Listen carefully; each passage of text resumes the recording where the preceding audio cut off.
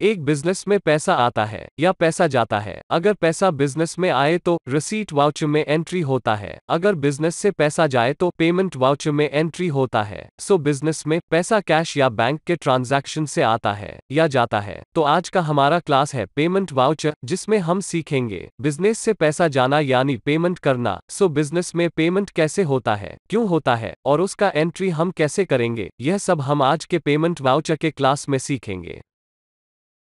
एक बिज़नेस में पेमेंट कहाँ कहाँ होता है? हम एग्ज़ाम्पल लेते हैं। सबसे पहले हम हमारे सप्लायर को पेमेंट करेंगे जिससे हमारा माल आता है। हमने जैसे पहले परचेस वाउचर के क्लास में नेशनल ट्रेडिंग कंपनी से माल खरीदा था, उसे पेमेंट करेंगे। इसके बाद बिज़नेस में हम एसेट्स खरीदते हैं। जैसे कि computer printer furniture delivery van इत्यादि। यह सब खरीदने के लिए हमें पेमेंट करना होता है। इसके अलावा खर्चे यानी एक्सपेंसेस जैसे कि staff salary office rent shop rent interest on bank loan bank charges legal charges office expenses advertisement expenses printing and stationery यह कुछ एग्ज़ाम्पल है जो हमें पेमेंट करना पड़ता है। बिज़नेस में पेमेंट दो टाइप्स से होते हैं, एक कैश पेमेंट और दूसरा बैंक से पेमेंट जैसे कि हम चेक इश्यू करते हैं या ऑनलाइन ट्रांसफ़र करते हैं। आजकल डिजिटल पेमेंट भी होता है, लेकिन वो एक बैंक पेमेंट ही है। पेमेंट वाउचर को एक्टिव करने के लिए कीबोर्ड में F5 के की को प्रेस कीजिए। जिस तरह हमने रिसीट वाउचर में ट्रांजैक्शन को एंट्री किया था, यहाँ भी ट्रांजैक्शन का एंट्री सेम होता है। सो सबसे पहले हम पार्टी को पेमेंट करेंगे। पार्टी हमारा नेशनल ट्रेडिंग कंपनी है।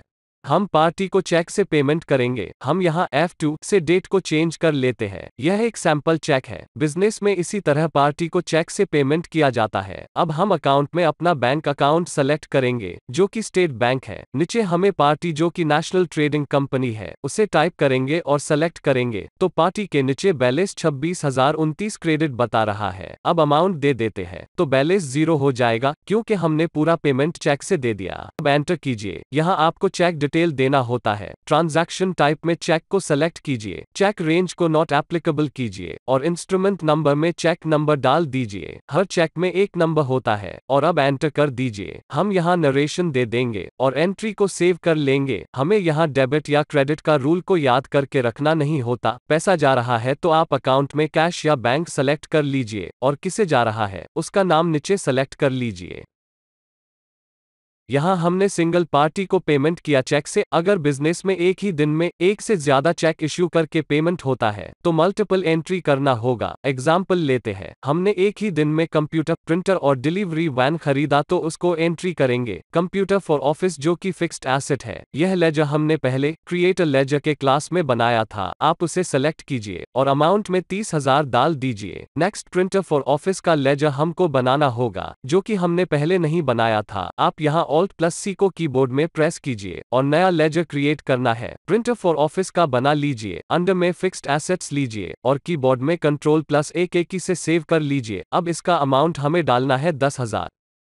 यहाँ अगला आइटम है डिलीवरी वैन जो कि हमने पहले लेजर में नहीं बनाया था। इसे भी आप ऑल्ट प्लस सी के की से बना लीजिए और सेव कर दीजिए। टैली में ऑल्ट प्लस सी के कमांड से डायरेक्टली कोई भी लेजर या आइटम बन जाता है। हमें बाहर जाके अकाउंट इन्फो या इन्वेंटरी इन्फो में जाना नहीं पड़ता। अब अमाउंट छह लाख डाल दीजिए। अब एंटर करने के बाद चेक डिटेल डाल दीजिए और नरेशन भी डाल देंगे। इसी तरह हम एक ही वाउचर में मल्टीपल एंट्री कर सकेंगे। लेकिन सिंगल एंट्री करने से अकाउंट चेक करने में सुविधा होता है। छोटे छोटे आइटम का हम मल्टीपल एंट्री करते हैं तो चलता है। तो आपने अभी जाना बैंक से पेमेंट की एंट्री कैसे होता है? जैसे कि हमने जाना अगर पेमेंट चेक से हो तो हम बैंक सेलेक्ट करते हैं, लेकिन बिज़नेस में कैश पेमेंट भी होता है। एग्ज़ाम्पल लेते हैं अकाउंट में कैश सेलेक्ट कर लीजिए। हमारा बिज़नेस जैसे कि रेंट में है, हमें शॉप ओनर को रेंट देना होता है। इसे हम कैश पेमेंट करते हैं तो रेंट का अमाउंट डाल दीजिए। यह कैश पेमेंट हुआ। सिमिलरली ऑफ़िस एक्सपेंसेस एक बिज़नेस में छोटे छोटे खर्चे होते हैं जो हमें कैश से पेमेंट करना पड़ता है। तो यहाँ ऑफ़िस एक्सपेंसेस में अमाउंट डाल दीजिए और भी छोटे छोटे खर्चे जैसे कि स्टाफ एक्सपेंसेस यह सब खर्चे हमें बिज़नेस में कैश से पेमेंट होता है। इसलिए यहाँ हमें अकाउंट में कैश लेते हैं और नीचे खर्चे का नाम लिखते हैं। आपको बस यह याद रखना है कैश से पेमेंट हुआ तो अकाउंट में कैश सेलेक्ट करना है बैंक से हुआ तो बैंक सेलेक्ट करना है। अब हम नरेशन डाल देंगे और वाउचर एंट्री को सेव कर देंगे। तो आपने यहाँ जाना कि पेमेंट का एंट्री कैसे होता है। कुछ ट्यूटोरियल में आपको डेबिट क्रेडिट या टू बाइक के ऑप्शन से सिखाते हैं। टैली ने हमें यहाँ सुविधा दिया है। आपको डेबिट क्रेडिट या टू बाइक को याद रखने की ज़रूरत नहीं है। बस आप सिंपल एंट्री कीजिए। बाकी सब टैली में ऑटोमेटिक ले लेता है। सो so फ्रेंड्स हमने आज पेमेंट वाउचर में एंट्री कैसे करते हैं वो सीखा। हम आपको एक बिगिनर के हिसाब से स्टेप बाय स्टेप कैसे सीख पाए इसके लिए बहुत रिसर्च करके वीडियो ट्यूटोरियल बनाते हैं, जिससे आपको कोई भी क्लास में कंफ्यूजन ना हो। हमारा कंप्यूटर ट्रेनिंग में 10 साल से भी ज़्यादा का एक्सपीरियंस है। आपको बस सारे क्लास को एक के बाद एक वीडियो देख के सीखना है और प्रैक्टिस करना है। आप कोई भी क्लास मिस करते हैं या आधा अधूरा देख के छोड़ देते हैं तो आप कंफ्यूज हो जाएँगे। आपको सिर्फ़ हर दिन तीस मिनट का टाइम देना पड़ेगा। हमारे क्लास में टैली का हर वो एडवांस ऑप्शन आगे जाके कवर करेंगे। यह क्लास कैसा लगा हमें ज़रूर कमेंट करके बताइए और सब्सक्राइब ज़रूर कीजिए। Thank you